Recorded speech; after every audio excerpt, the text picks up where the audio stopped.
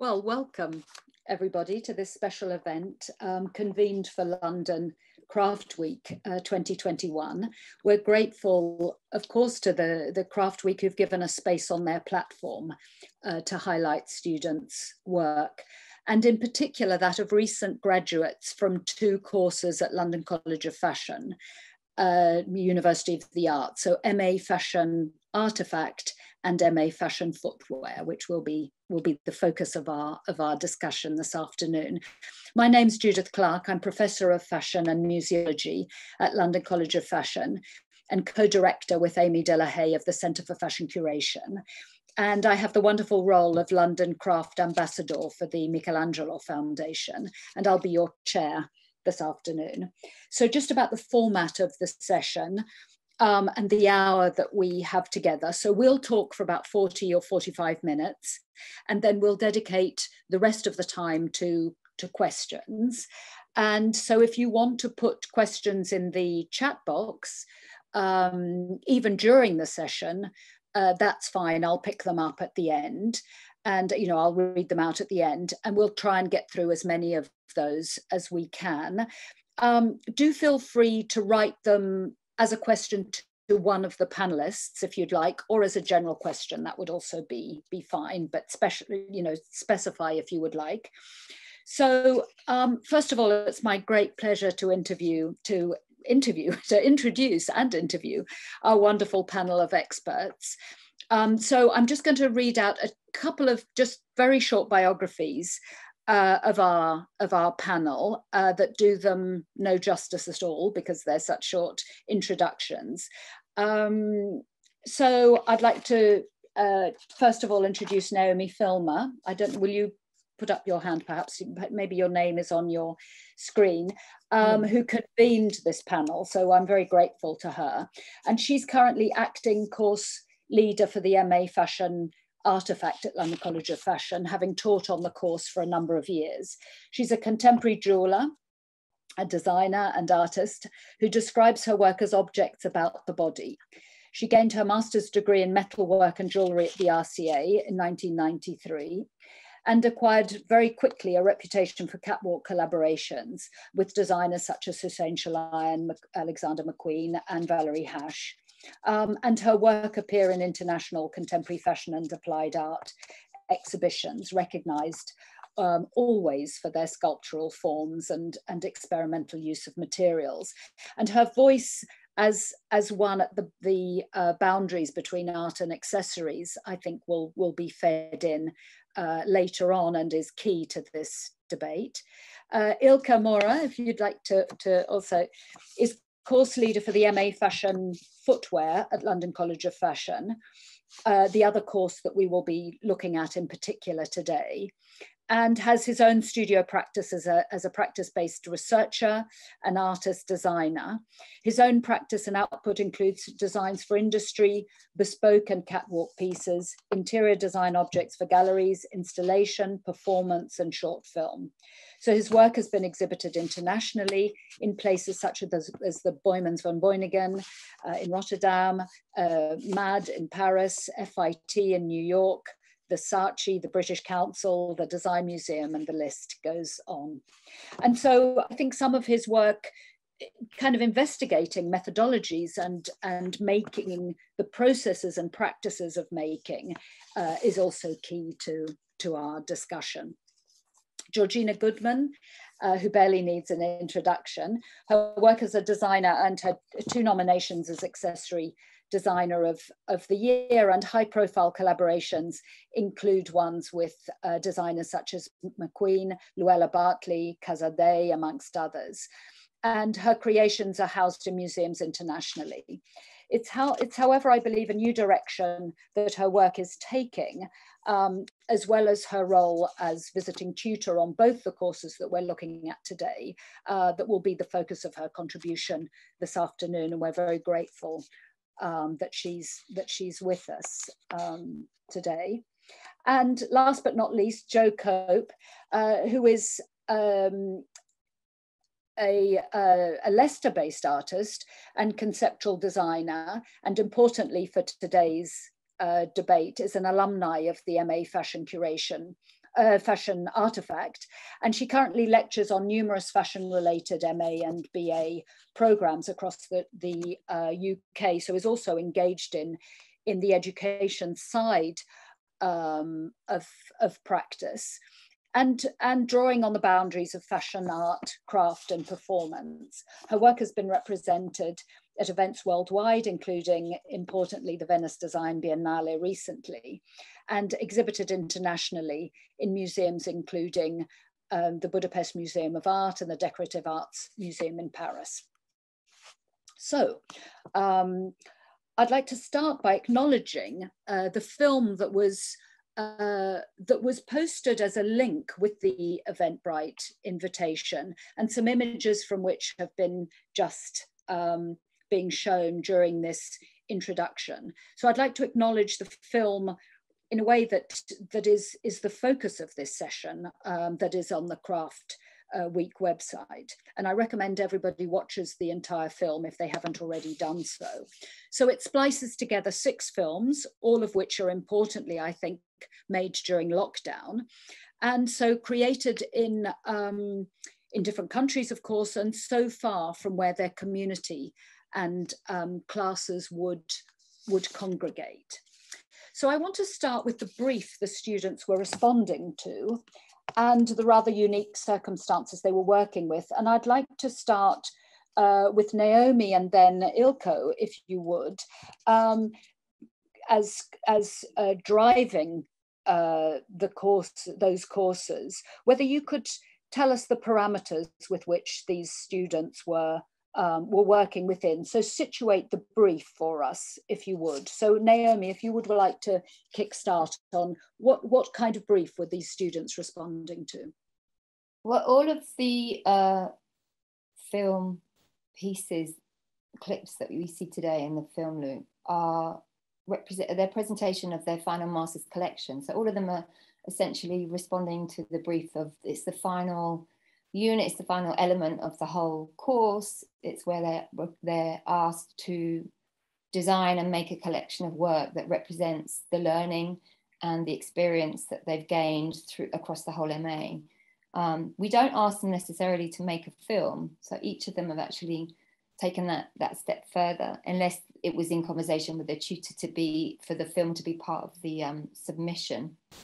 Um, so so yeah it's it's their master's project essentially it's about how they culminate it's the culmination of all the learning and the previous experience um, throughout the curriculum so there's there are differences between the two courses uh, but essentially yeah it's the it's the final shebang. It's it's the bringing together the studio practice the contextualization of the the whole design project that they put forward, um, their research methods informing their design development, where they position their work in relation to the body, where the craftsmanship and the manufacturing processes um, also direct and fuel the outcome, how the dialogue between all of, of the above mentioned um, correspond with each other, and and there you have their their master's collection.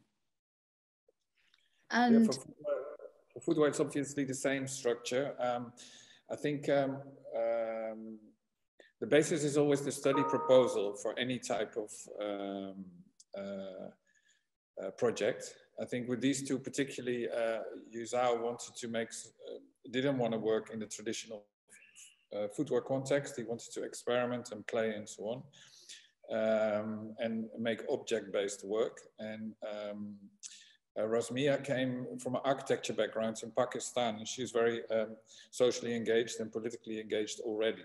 I think with both of the people and with all of the other people, um, I think what we aim to do is to make their work uh, relate to something which is socially relevant beyond their personal interest. Mm. and I think that's the design element.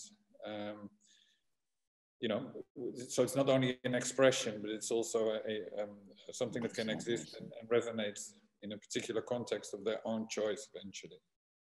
Yeah. And Georgina, I don't know whether you want to comment on um, in terms of your interaction with the with the students, um, whether there was something that you you felt um, you know came through particularly eloquently this this year, and given their con the conditions of, of the production. I think they had to be um, ingenious. You know, they had to think of different solutions. Um, we're we're both uh, both courses are within the craft umbrella, so there's going to be elements in some collections that are completely handmade. There's going to be elements that are 3D or digitally made or virtually um, or, or, or exist virtually. So people were being more um, imaginative. Um, you know, we see this with, with, with Leah most particularly, who was making a material at home in her kitchen. Yeah. So I think perhaps that project wouldn't have evolved had there not have been a kind of element of being locked in your, your, your home. So we, we saw from both cohorts just um, this sort of level of imagination that perhaps we, we wouldn't have we wouldn't have seen before, um, and also a lot of support of each other, which I felt was really lovely. You know, to for people to support each other and and sort of give comment on each other's process. So that was something very interesting. Yeah. And Jo, obviously you've done one of the courses. You did um, you trained with the MA fashion artifact. Um, did you feel, despite the, the conditions that the students were working within, something that was recognizable to you, having obviously studied at a very different time to these students? You were in situ. Um, and and whether you feel there was some there's something that is an attribute of the course as in whether there was a there was something being pushed a, a, a kind of a questioning of the very practice that they were engaged um, within that you recognise to be a trait of the course? Yes, I think um, first of all, I just want to say, um, yeah, thanks for having me, and also a huge congratulations to all of the students because obviously I know how hard it is, and I know the concept of having to be in um, the studios to succeed and the workshops from you know 8 a.m in the morning until you get kicked out at night. And so i was asking naomi you know what were the circumstances this year? Because all of the work looks so wonderful and beautiful and so um, amazingly crafted which is obviously a core um, part of the course. Um, i think the filmic element is so relevant this year and particularly in terms of the kind of um, the COVID situation and um, post Brexit, and um, the idea that their craft can travel virtually. And I thought that they were really amazingly executed. So I thought that was, you know, brilliant in, in general. Um, I think the core values of the course is to constantly question across both um, footwear and fashion artifacts, um, is to constantly question the status quo and I think that, you know, I was looking from the outside, looking at these films for the first time and really connecting with them. And they were so current and also future. Um, they were they were projecting, um, you know, political, um, social, all the current issues, um, which I think is really key. Is that both courses constantly address what should we be talking about now? How can we communicate that through the beauty and the voice of craft particularly so so yes definitely because the film obviously adds a different narrative layer doesn't it? Because there's the layer there's the making and then there's the framing and presenting which is a whole includes a whole other set of skills doesn't it? I mean it's a it's kind of over and, and above the skill of making something as you say so exquisite that as as we've seen. But some uh, chose to work virtually, you know, to work as a render. Um, and I want to uh, ask uh, Naomi and Eelko again about your relationship to the digital um, in in this context. You know that that it's about thinking through making, and what happens when that is taken to its extreme logical consequences, as in into the imaginary or into a projected other reality that still is very engaged with the body and with, with a kind of emotive design, but that isn't linked to the skin, so to speak, or the, the materiality of, of, of, um, of what you're, you're making. And so Naomi, I don't know whether you want to comment on that, uh, about, about that other dimension.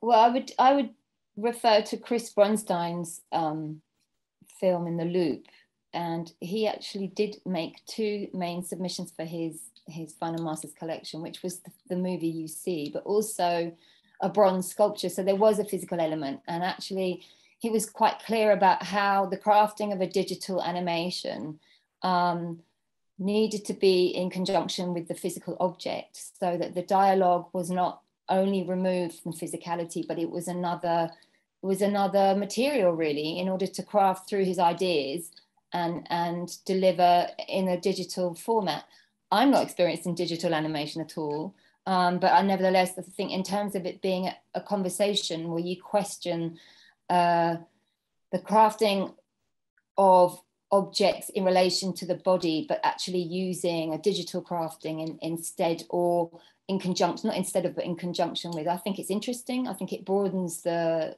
the dialogue, the spectrum of materiality. Um, and they, there is inevitably, yes, a very, very much a removal from live flesh, or, or yet I think he um, makes real effort and to assimilate uh, fleshy su suggestions, really fleshy interpretations, skin interpretations, but it's very autobiographical also, that piece of film for him. Um, and hmm. talking mm. about body dysmorphia.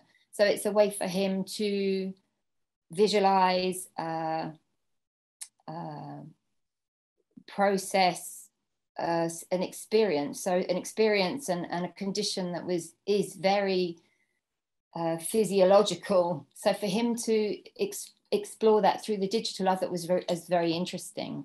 Um, yeah. But he was, as I said, he was very clear that it had to be in conjunction with a physical object that in fact was the, the three-dimensional realization of the main form that morphs in the film.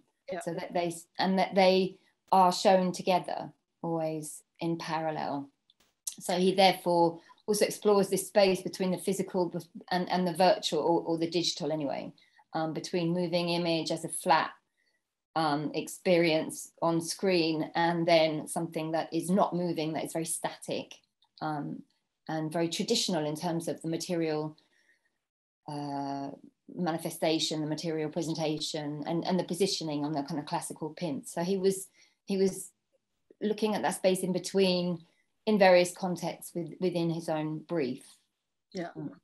And Eelko, there are two the two um, uh, films that that obviously um, uh, come under your umbrella are very different because one is showing um, an object morph in a way that is is the um, the performer, let's say, is is showing. It's like a show and tell of a, a kind of extraordinary um, number of combinations of the components of, of the object. And the other, with bringing in the domestic, is incredibly uh, narrative in terms and, and political.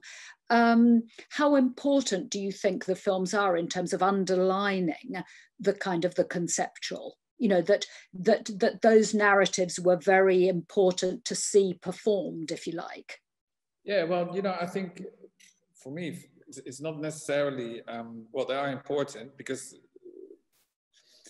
but not in the sense that, you know, it's, it's not, it's not necessarily a, virtual different reality. I mean, the first, the first object is, is prescriptive. It's just, you know, um, every object is, I think, um, has a narrative anyways. It's fictional to, to a large extent in, in any case. But um, the first one is just a prescriptive video uh, which is excellently executed, I think. Um, and uh, the second one, obviously, is descriptive, right? Uh, yeah. Tell the story. And I think I always find that it's important for an object uh, to uh, to have two functions.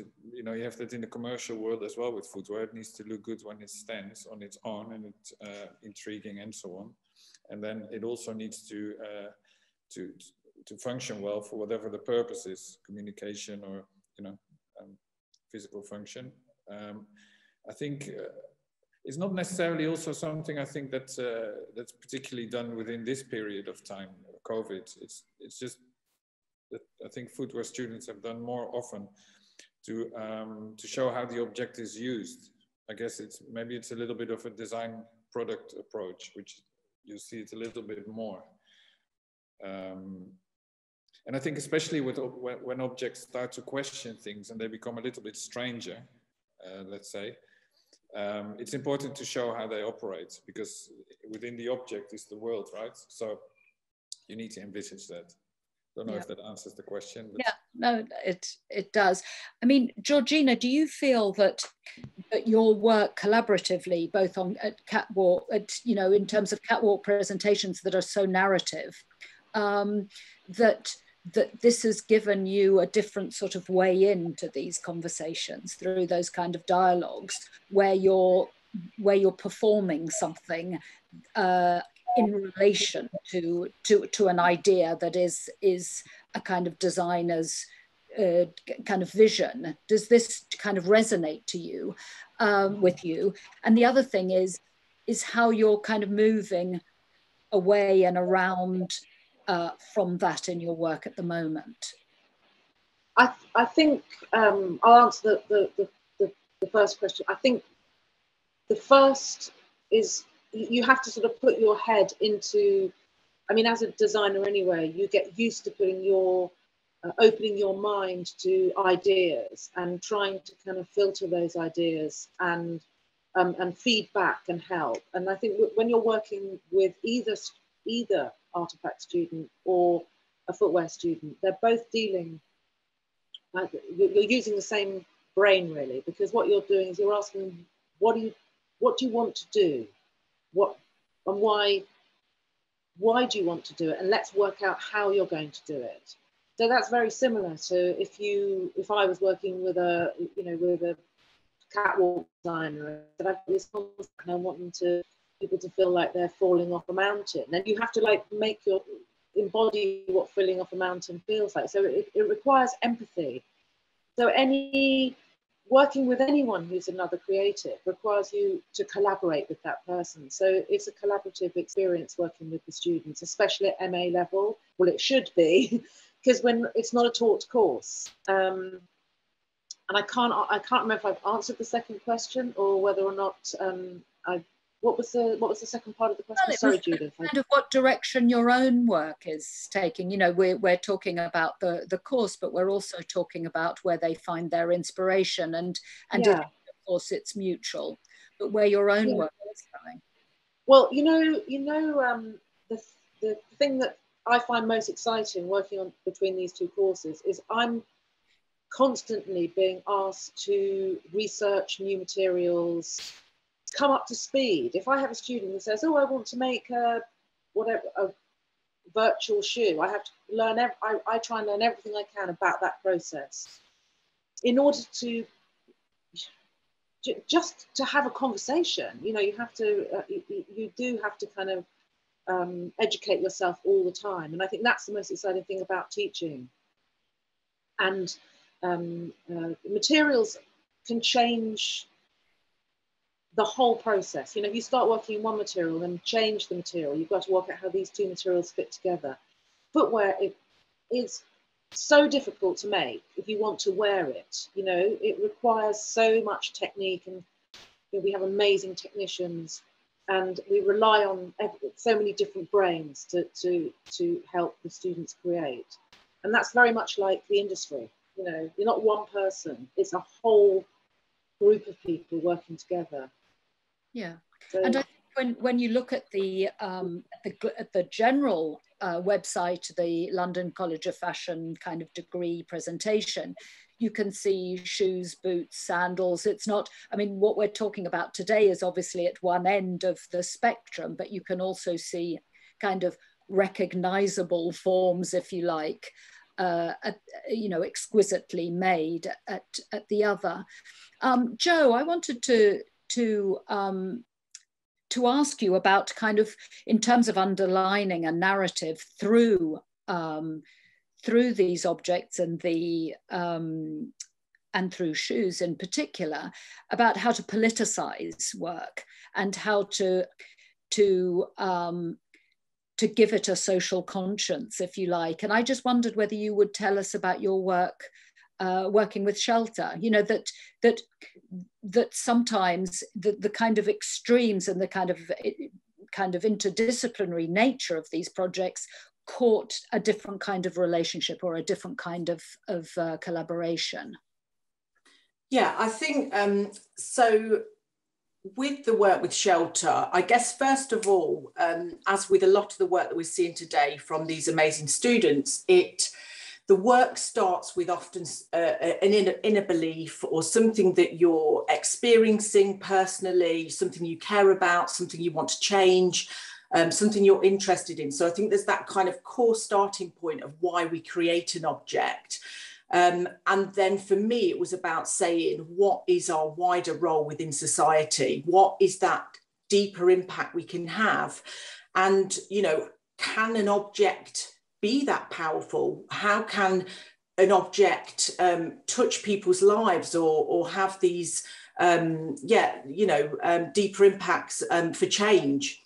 So, um, briefly, the work that I do with Shelter now is as a creative consultant. And um, this really came out of this gap, trying to bridge a gap between charity um, and creating another voice. And I truly believe, and this is the work of, that's happening within artifacts and footwear, um, is that they are this vessel for visual communication, um, empathetic vessels, um, objects that can embed a story, embed a meaning, and then relay that um, to other humans. And I think the point is that we were trying to do with the Shoes Have Names um, project, which was taking 10 footwear designers, some of which were alumni from London College of Fashion.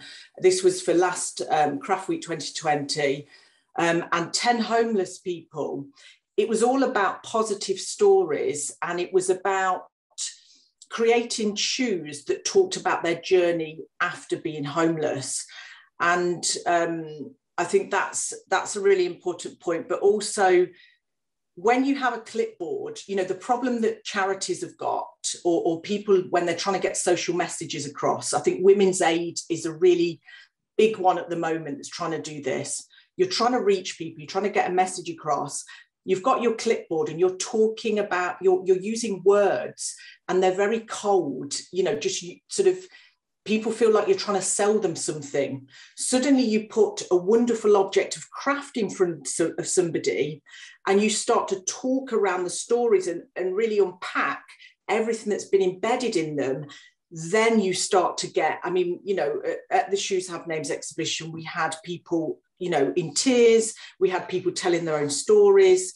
Um, so yeah, I think that it can be really profound in the way that that can be used, and, and I definitely saw that in um, you know some of the work. Um, yeah, some some of the work there was um, Zhang Yang with the um, displacement of homelessness.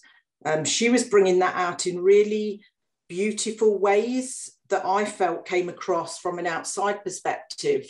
Um, there was lots of kind of almost survival and overcoming. Um, it was very beautiful. It, it, it, was similar to the way that Shelter wanted us to talk about it. They said, people have suffered enough. We don't want to make objects that show holes in shoes or what they've suffered. We want um, the objects to be um, really empowering and beautiful. And I think that student did that really well. And Eelko, I wanted to ask you because part a, a, a fundamental um, part of your research is is into this, isn't it? It's into the the kind of emotive um, within the process and the relationship between the object and the user. Do you want to comment on any of the work that we've looked at in relation to that? Yeah, well, I was just I just got thrown out, so I'm just back. I don't know exactly what was being said or what question Jo answered, Jo answered but um, uh, it was about it was about underlining um, the eloquence of work and you know and and harnessing a kind of social conscience within within that uh, within that eloquence. But it's it's fundamental to your own research isn't it? Yeah i mean for myself i use objects as, as i said before a little bit. I mean, I mean every object has a function uh, but it also has a, as, a, has a, a fiction isn't it? It's a, the fictional objects. You know we come up with them all kinds of new ones all the time um, for all kinds of functions that we don't really need or you know we think we need. So i think that opens up a lot of space for narrative um, in itself already the object and its meaning itself but also actually the function of the object and the psychology of using something um, uh, is also a narrative in itself. And i think thinking about those things um, um, you know, in the past they made paintings, right, uh, to, to critique something, uh, but now we've got a world of objects, and um, uh, I think they open up lots of possibilities to use those objects to, to, um, uh, yeah, make us think about, you know, how you want to live and how to propose um, uh, alternative realities for that, I suppose. Yeah. And Naomi, what about the body? Because the body has always been central to your own research, and and bodies have taken on a different, um, perhaps meaning over the last couple of years because we we have to think of of alienation or loneliness or distance or distancing etc to not to try not to be too banal because we've spoken about this so much over this year but inevitably if then you're creating objects around the body mm. um, in this time that we find ourselves in, in invariably there's going to be some kind of commentary on that what have you noticed about that um in recent in, in recent students, I think uh, there's definitely, well, there's a lot of attention to mental health and how that manifests or can be manifested through the body. Um, and I think that's across the board. I don't think it's particular to our courses. Um, I think that's across the board. But in terms of, I find what's helpful about teaching on this particular course and having the body not only in my work but through the narrative of how we work with the students. Um, it's inevitably a subject that people understand because everyone's physical experience of the world is through their own body. So there's always a very personal perspective on, on approaching the body. Um, some students are more in connection with their own body than others. Um, but it's, it's a theme and it's a red thread that is consistent. Um, but I would say the recent perspective on I, I think there's more more questioning and more intimacy. Um, students were kind of casting their own bodies and drawing themselves a bit more than usual, probably during that particular cohort in the lockdown. They were confronted with them being alone, confronted with being themselves, and inevitably, therefore, the conversation of where's the positioning of their body, the body within their work became more confronting. Um, I'm not sure. You can see that definitely is very apparent in in Chris's work, in Zon Yang's, I think, as well, in terms of this balance and this idea of kind of local environment, the way she built these structures that uh, almost kinetic and move in relation to her, her own movement, but not necessarily in rhythm it. It's kind of almost autonomous movement. So there's that. Leah's relationship with the body, working with the rice pulp, she talks about um, nutrition and nourishment um, and the smell of the, the, experiencing the material in the process of making. So she talks about the body through experience and senses and sensation. Um, I think, yeah, there's definitely a much more intimate attention recently with students' relationship with their body that must have somehow been relative to the lockdown. But it is a continued conversation that I never get tired of. um, and I think you can return to that, the theme of the body again and again. You change the context, you change the material, you change the person. It's always fresh, it's always relevant. Um, yeah. inevitably. It seemed there was a bit of sort of a back to basics also with that particular project using um, rice pulp, uh, you know, in terms of uh, a kind of back to back to one's origins or back to back to basics mm-hmm. i think was one of the words that she used. Georgina did you feel that in your practice over the last couple of years? Did you sort of feel okay a kind of re restarting of something or a reconnecting with with with the kind of origins of your interest in this? Definitely. I mean i think as my career progressed i got further and further away from the very thing that i absolutely loved and that was making and as you get more successful or perceived to be successful or you work harder you just make more stuff and I had an, a sort of a, a, really big reaction to this creation of stuff. And that creation of stuff comes with you as a designer sitting there and drawing it out. So, you know, thousands and thousands of drawings.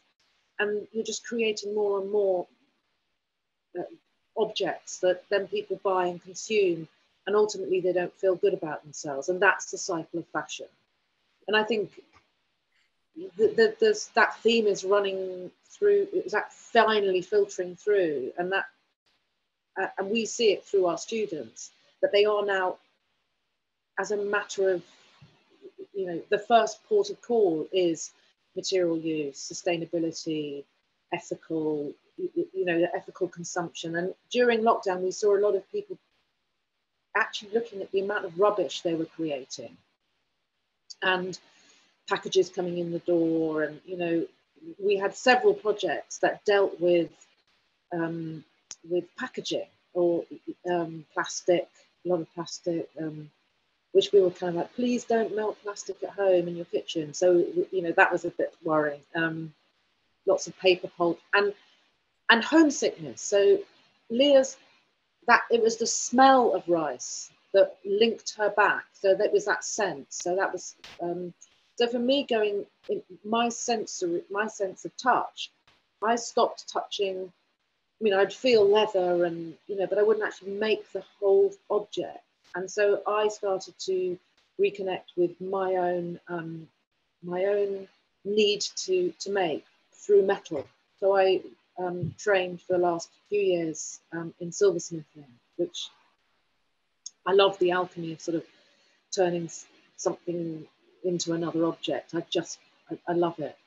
And, and that's led me in quite a different direction to sort of actually go outside and, and sort of walk into the garden. And now I'm training in landscape architecture, which seems completely unrelated, but it's actually not because it's about how you feel when you're in a space. Um, so, and I've seen through the students, they need to connect, they need to make um, in order to feel what it is they're doing. So I resonate with that completely. Yeah, yeah. And they, the films feel very intimate, don't they? Um, whilst performative, but it, it, they feel performative in a way that somehow is not demanding attention. I don't know what, what that is, but there's something intimate about the films um, as a way of sort of framing their work or reimagining their work. Um, I think you have got to remember that, that, that, you know they quite often were making them not on their own, but like with the help of a friend or you know they're not professional films you know so there is an intimacy to them because it's their project. And so we're sort of getting a little glimpse especially um, Leah's when you just it's her talking and it's so you actually feel it and she's you, you can you can completely get that project even if you've never met her or you don't know the project um, i think some of them may be a little more difficult but we know the projects um, but there is an intimacy you're right mm, mm. And I know that soon I'm going to open it up to to questions, but I just um, Naomi and and Eelko in particular. Um, what I, I just wondered what your aspirations for the courses are. I mean, it's really a celebration of them today, and I think that we've all felt very moved by by the students' work, um, moved and and in awe of their skills. Um, and I wonder whether, I mean, there are lots of words that come out in terms of the course, in terms of pushing the boundaries and as a provocation. And as, as practice-based research, you know, as something which is thinking through making, which you clearly, you know, both really uh, you know push push in the best sense the the students to think differently and think through their materials um, I wondered if what your kind of hopes for the for the two courses are just before we open it up to perhaps other people's questions around this this incredible work. Okay, from my point of view, um, keep the diversity, um, which I think sometimes is a little bit under threat at the moment in all respects.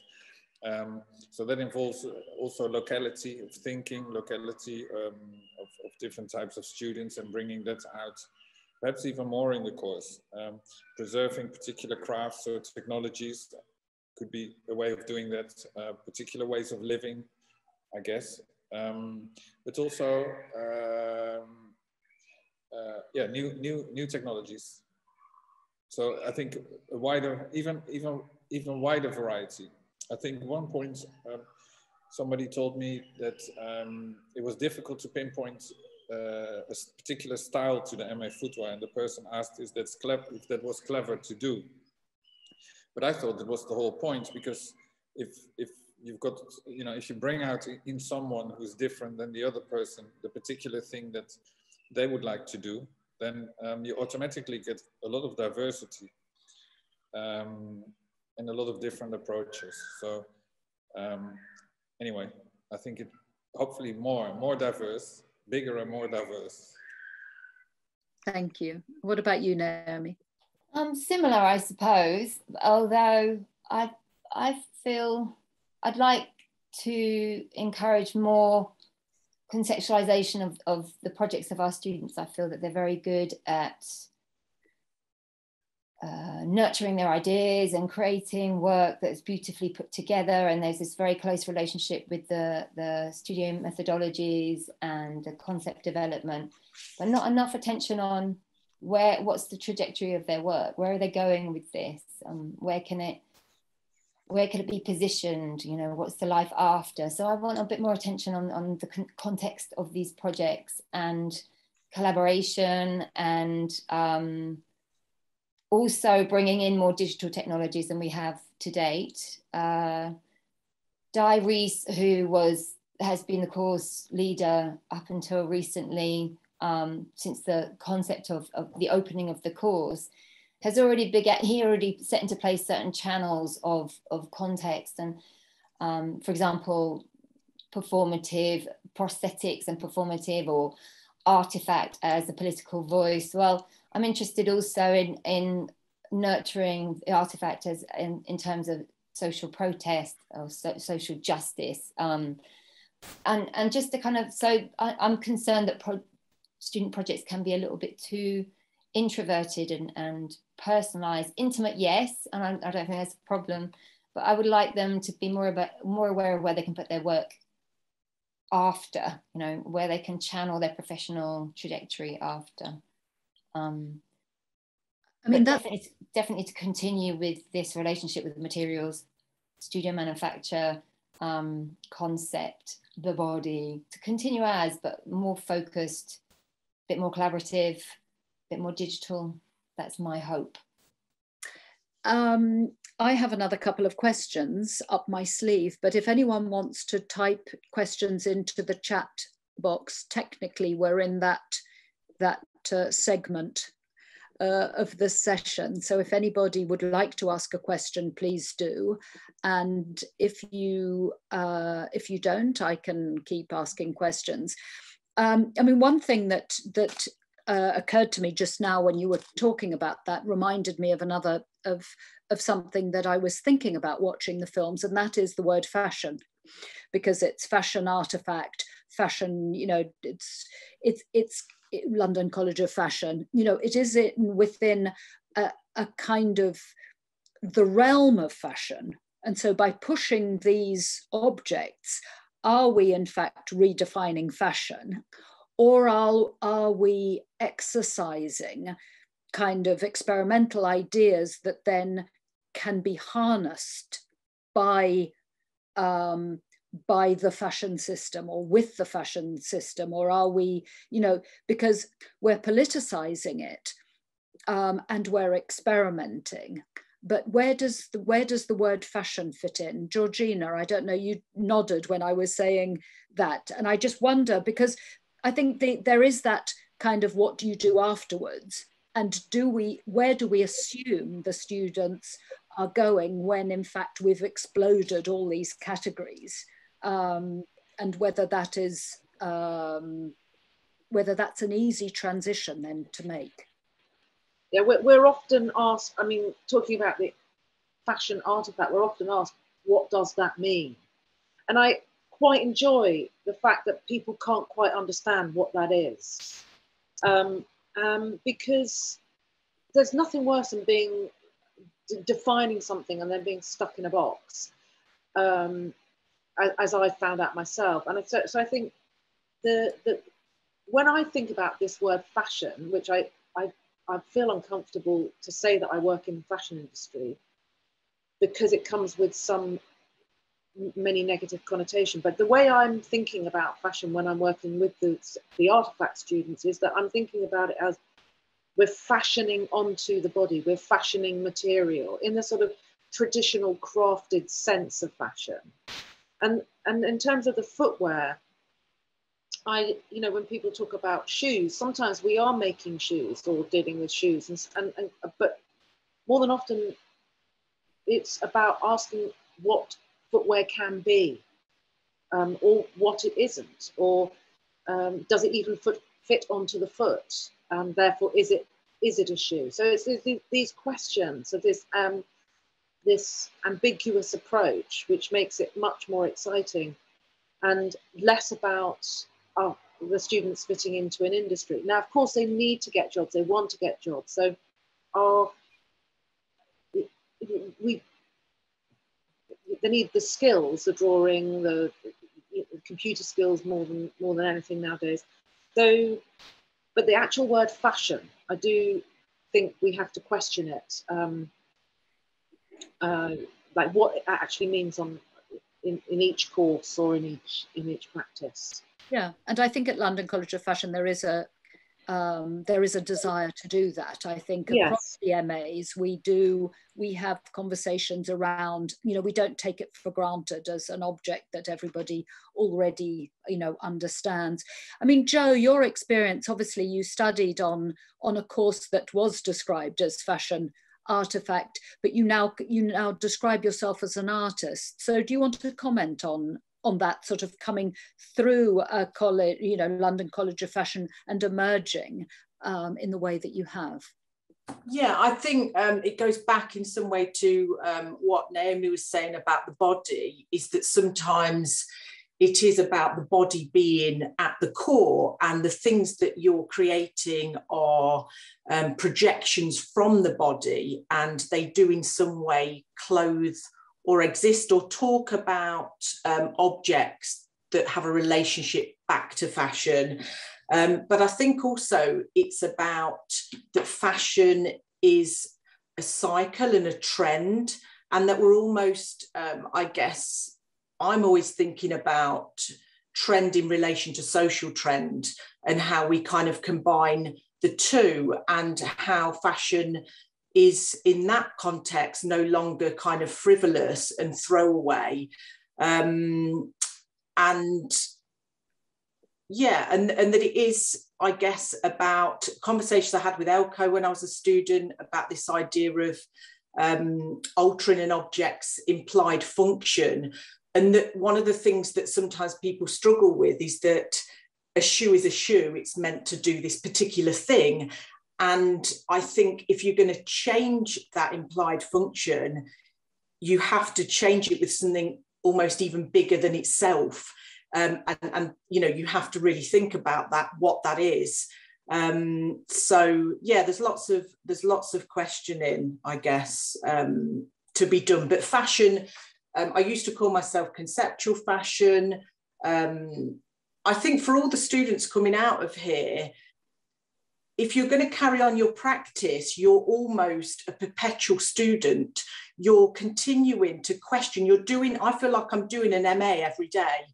I'm, I'm, I'm constantly questioning and recreating and thinking about if I was there now, what would I be doing? What am I challenging? And, and in terms of the digital, you know, looking at the changing art world and, the, and things like NFTs and how we might make money from um, digital work as well as physical work and how the two can live next to each other, how we can have wonderful crafted objects and augmented realities and what does that mean and the materiality side of it as well you know the, the rice work really spoke uh, as all the work did in, in different ways to some of the things i'm experimenting with myself so yeah on all levels i think um yeah I, it's fashion because it, it relates to the the human the body and, and fashion's history in yeah. some way but being completely altered and challenged and crossed over with conceptual art practice. Um, but yeah, it's a big subject in its own right, I think. Well, yeah, absolutely, and we've got we've got a couple of questions from the floor, so to speak.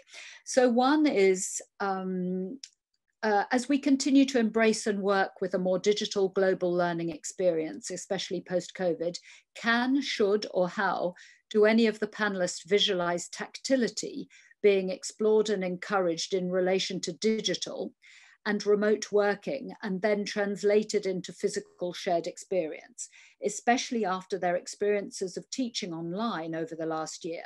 Some of the dissemination has been discussed in relation to the films, but any other ideas? Does anyone want to, to respond? Some of the things we've touched upon.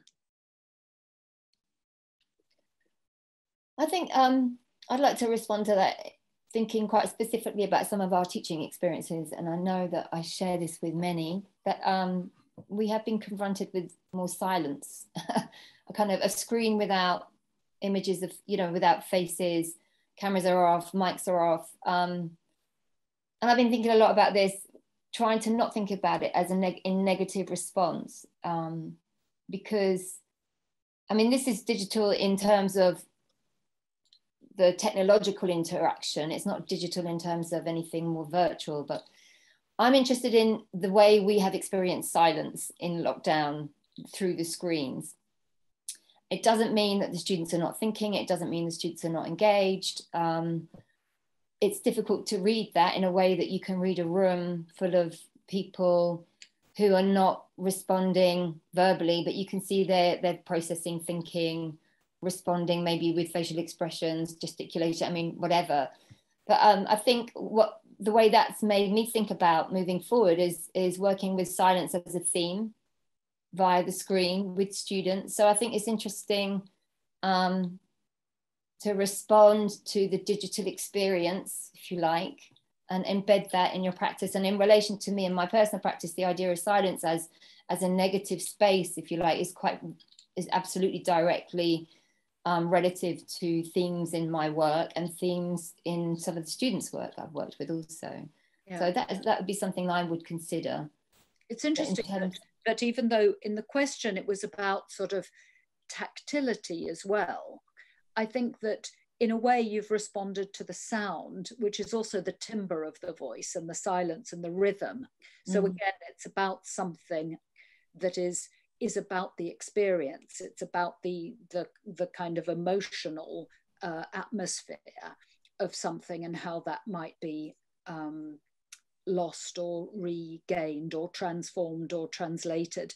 And we have another question that is also around the digital, which says, I mean, I know we're only a couple of minutes more. Um, and the, the other question is I found the earlier suggestion of digital space being a new means of material exploration um, does this come into play in any of your own practices? And if so, how? So just the digital space as part of your experimentation.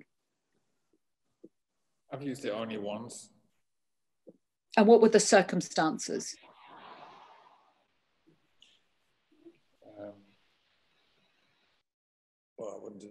I created a virtual space, experiential space for a therapeutic experience. Um, you know that that as a proposal, let's say, um, for a therapeutic experience for phobias. Oh. Um, so you can do that in your private home, other than um, go to the doctor, because I think only ten people, ten percent of the people that have a phobia would go to the doctor. Um, so if virtual headsets become cheaper, um, then they could be either rented or people have them anyways, which is something you see already happening. Um, and that also means that um, in a more of game uh, environment, as we're living in at the moment, uh, people are more receptive to, to play games at home and you can, uh, it opens up possibilities for design and designing spaces in which those issues are addressed. Um, because they're, um, uh, yeah, but it, it, doesn't, it, doesn't, deal with a particular materiality of it. I think that was part of the question, but um, that's the only the only way I've used it. Um, at, on the on the course, it's used several times. Um,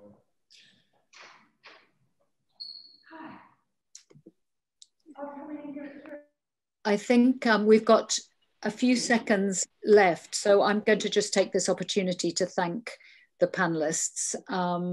For your insights. It's been lovely to, to have you and everyone um, who I can't see, but uh, who's participated in this, uh, in this session this afternoon.